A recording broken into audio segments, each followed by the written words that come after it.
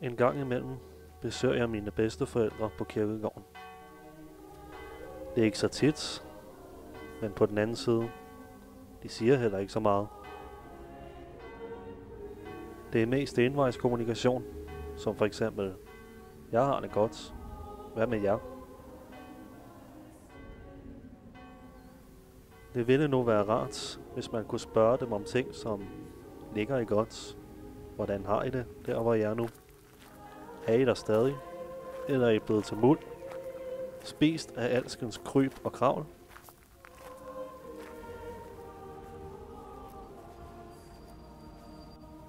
Og hvad med miljøet?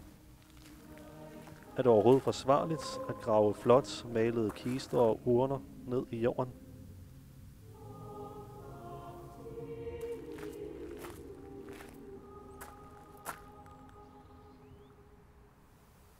Og så er der jo også det største spørgsmål af dem alle. Er der et liv efter døden?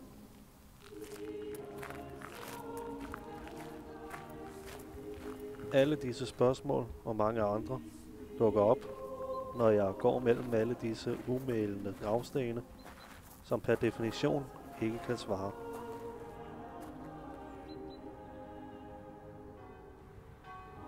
Jeg må spørge de levende, hvis jeg vil blive klogere på de døde.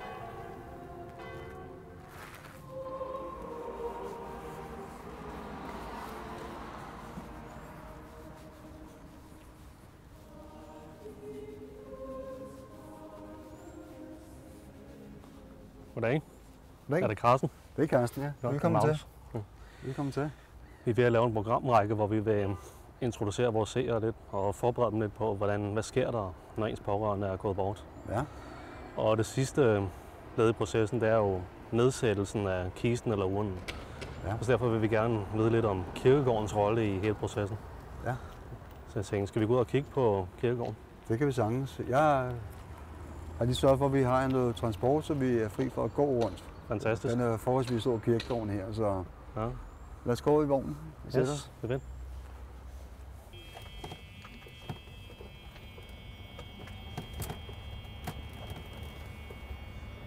der er jo de ukendte grav, og så er der nogen, der vælger en kæmpe stor gravplads med en flot sten og vand til. Ja. Hvorfor tror du, at nogen vælger, en, vælger at blive begravet på de ukendtes? Jeg, jeg tror, at rigtig mange mennesker har, har det sådan, at man ikke vil lægge sin, sin, sin efterfølger til last om, at ligesom at jeg har et gravsted her, det skal du komme og passe for mig. Rent personligt, så tror jeg i hvert fald, at jeg i dag måske nok er den opfattelse, at jeg vil nok også brændes mm. og lægges øh, ned.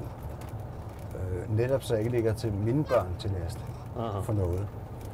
Men hvis de nu vælger anderledes, så skal de jo have lov til det. Ja. Hvis de, har, hvis de mener, at de har brug for at have gravsted og kan komme og, og mindes mig. Øh, den nyeste ting, vi, vi har fået her på Bispebjerg Kirkegård, er, hvis du kigger herover, der har vi nogle kasser stående, nogle jernkasser. Ja. Det er, er det, vi kalder for ateistisk afdeling. Okay. Det er noget, noget helt nyt, vi, vi har fået på Bispebjerg Kirkegård. Ja. Det vil sige, det er områder, hvor der overhovedet ikke må forefindes nogen former for, for kristne tegn. Nej. Hverken kors eller noget. Nej. Hvad med sten? Må der heller ikke være sten så? Der må godt være sten, Ja. Men der må ikke være noget, der, der indikerer, at det har noget med kristendom at gøre, eller nogen religion at gøre som sådan. Okay. Og det, det er jo øh, det, ateisterne siger. Vi tror ikke på noget. Ja. Hvor dyb skal en kistegrav typisk være? Det man siger, det er, at der skal være 1 meter jord op over kisten. Det vil Ja. sige, hvis vi har en kiste, der, der hedder 70 cm, så skal der minimum være 1 meter 70 dybt. Okay. Hvordan får man så kisten ned i hullet? At man sænker kisten med torve, Okay. øh, hvor, hvor der er på selve kisten er påmonteret håndtag, Ja. hvor vi så hænger, hvor selve torve bliver hængt fast i. Okay. Fordi den er jo rimelig tung og besværlig at få ned, hvis det er med hænderne. Ja, så er der langt ned. Ja, men der har vi heldigvis torve, så man kan nå helt ned til bunden. Så hvor lang tid går der sådan typisk, før en kiste eller urne bliver nedbrudt? Som udgangspunkt så kører en familie brugsretten til, til gravstedet i 10 år for Mm. urner og 20 år for kister. Mm. Når den periode så er overstået, så kan man vælge at forlænge øh, brugsretten til, til gravstedet. Okay. Alt om et år eller fem år, eller hvad man nu vælger. Okay. Og sådan en kiste, der, er- det er lidt afhængig af, hvilke jordforhold man har, Mm. om hvor, hvornår det hele er væk. Okay. Altså, vi, vi, vi kan, kan godt finde, finde nogle ulykkesnogler, øh, selv efter 25 år og 30 år. Det vi har herinde, det er så vores muslimske afdeling. okay.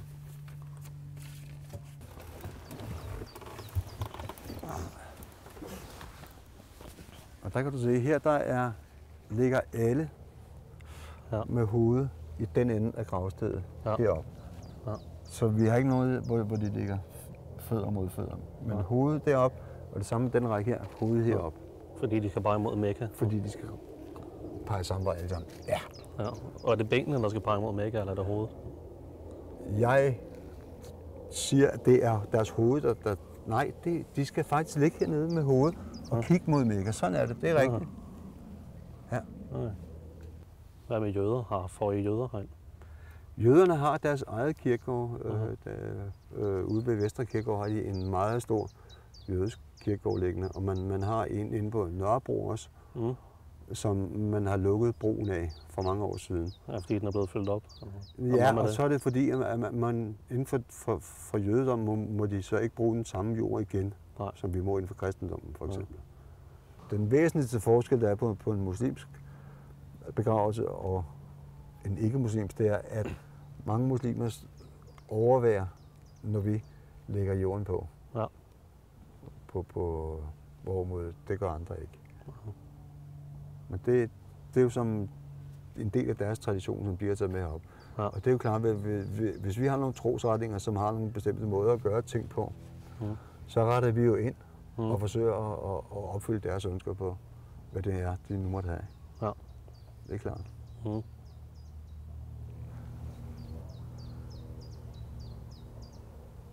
Jeg ved, at vi har været ude for, at vi har gravet nogen op, Ja. der så er, er, er flyttet til, til deres hjemlande. Mm. Og det er så en af de der mindre behagelige opgaver som graver. Mm. Det er ikke særlig rart. Jeg skulle grave dem op igen. Det er ikke særlig rart. Fordi kisterne er medtaget, eller? Ja. ja. For mange, mange af kisterne, de, de, i løbet af en vis overrække, så falder øh, låget sammen på, på, på rigtig mange af dem. Oh, ja. Så Mm. det er ikke en særlig behagelig situation. Nu snakkede vi om kister for. Øhm, her i Danmark er der nogle bestemte sådan, retningslinjer for, hvordan kister må se ud. Nej, det er der faktisk ikke. Ja. Du må faktisk godt lave en kiste selv. Okay? Og jeg ved, jeg ved at der er folk, der, der selv har bygget deres kister.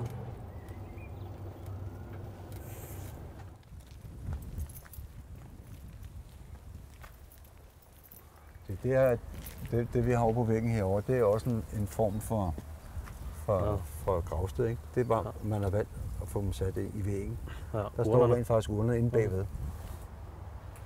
Yes. Det her er vores øh, buddhistiske bederum, Mm. øh, lavet hertil. Ja. Og hvor urnerne så bliver sat i Mhm. væggen som i et kolumbarie. Ja.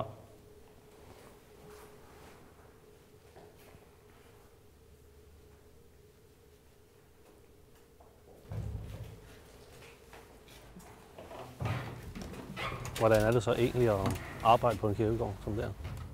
En, en, en kirkegård er altid, altså tag vejret i dag, solen skinner, det er jo fantastisk, man kan finde ro i sig selv. Men det er jo selvfølgelig et, et område, hvor vi arbejder med virkelig høj etik. Mm. Det er jo sørgende familier, der vi nogle gange møder Ja. har på, og der er vi nødt til at være professionelle. Mm.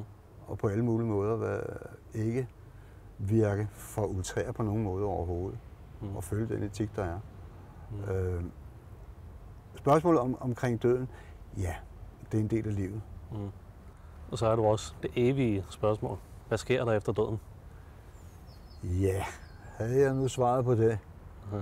så kunne jeg nok være en rig mand. jeg aner det ikke. Nej, du har heller ikke sådan nogen decideret holdning eller idé om det. Jeg tror ikke, der sker noget Jeg tror ikke, der skal noget. som ren person. Er, jeg er godt klar over, at der sker ting, man ikke kan forklare og sådan noget. Ja. Men jeg ved det ikke. Jeg har ikke nogen sådan tykker tro på et eller andet. Nej, Ja. jeg har ikke. Okay. Ja, men jeg føler, at jeg har fået svar på det hele. Det har været interessant. Det var dejligt at høre. Så tak for det. I lige måde, skulle der være noget, ringer du til mig. Det skal jeg gøre. skal jeg velkommen. Yes. Det var så sidste afsnit af Ligkistemagasinet, og vi er blevet lidt klogere på, hvad der sker med os, når vi dør.